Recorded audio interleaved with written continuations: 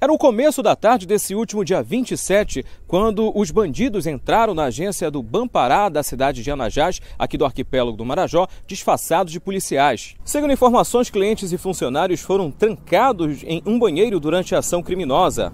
De acordo com testemunhas, o bando de assaltante entrou na agência com fardas da Polícia Militar e depois anunciou o assalto. Eles roubaram uma quantia ainda não divulgada do banco. Um áudio compartilhado nas redes sociais de um motoboy que fazia entrega de comida no momento em que a ação acontecia conta detalhes do crime. Não, não bateram na gente não, graças a Deus. Eu ainda estou um pouco nervoso, a minha voz está trêmula devido a ter saído agora de lá. Ficamos para mais de uma hora trancados numa sala, todo mundo, para mais de 50 pessoas dentro do banco. É, foi na hora que eu fui levar o almoço do pessoal do banco, eles compram aqui da gente e quando eu entrei já estavam dentro do banco já. E aí me pegaram também para ficar lá dentro. Só que eles não foram violentos com a gente, graças a Deus, mas estavam todos armados. Eles entraram no banco porque estavam vestidos de roupa de policiais. Então se identificaram com polícia e os, os guardas abriram a porta. Assim que abriram a porta, eles renderam os policiais.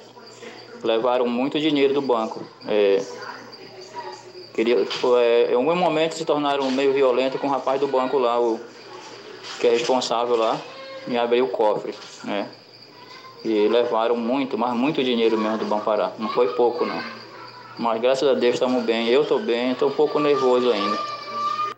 A polícia foi acionada ainda durante o assalto, mas os criminosos conseguiram fugir com todo o dinheiro. Apesar do pânico, não houve feridos na ação criminosa. A polícia da cidade de Anajás e a Superintendência Regional de Polícia Civil das Ilhas já iniciou as investigações, mas até agora nenhum bandido foi identificado e nem preso.